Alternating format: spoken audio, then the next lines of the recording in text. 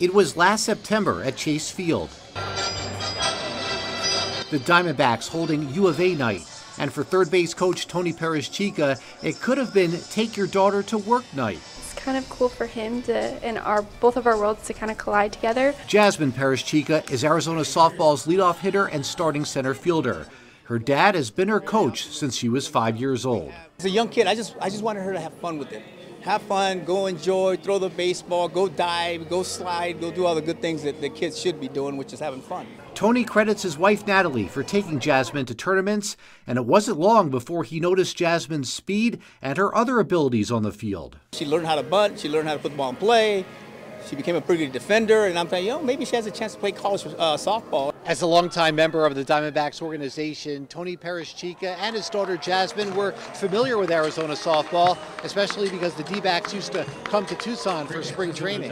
Candrea is a, a great person, great coach. And then, you know, you got Caitlin here that takes over, you know, it's family. You know, that's the way I look at it. It's a, it's a family uh, affair here, and I'm excited that she's here. Tony is able to come down for the early season games, where he goes from third base coach to something else. Like a nervous dad. uh, no, no, it's exciting for me. It's funny because he'll he'll send me little videos throughout the week and kind of like tweak my swing here and there, just kind of support me throughout the way. I mean, I know he's really busy, but like I said, we're still really close. Once spring training starts, Tony isn't able to attend as many games. It's why last September's U of A night was extra special, especially what turned out to be an unexpected surprise. Turn dad, D-backs third base coach Tony Perezchica. They said, hey, your daughter's going to throw the first pitch to you.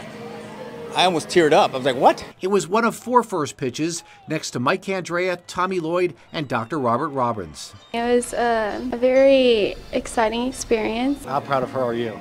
Uh, I'm very proud of her. You can say the sport is in their DNA, as Tony and Jasmine Perezchica's father-daughter connection also provides one for the state's Major League Baseball team and its perennial powerhouse softball team.